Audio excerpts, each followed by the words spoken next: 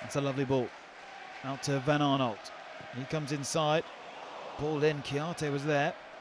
It's going to come to Zaha, who has time and space. Zaha, dummies past one, rolls it into the penalty area. Oh, that's a clumsy looking tackle. And it's a penalty.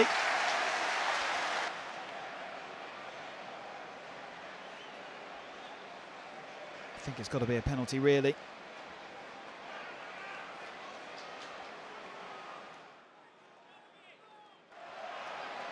Luka Milivojevic from the penalty spot. Ever reliable, the skipper.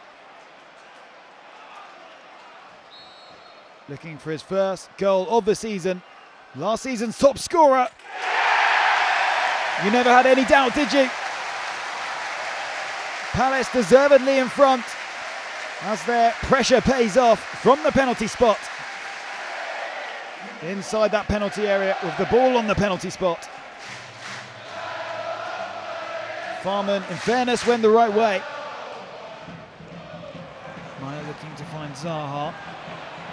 Oh, does really well, Zaha. Amadou beaten.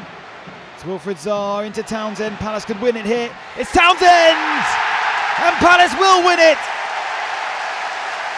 And it's Andros Townsend with a crucial, crucial goal. Hear the noise and feel the relief.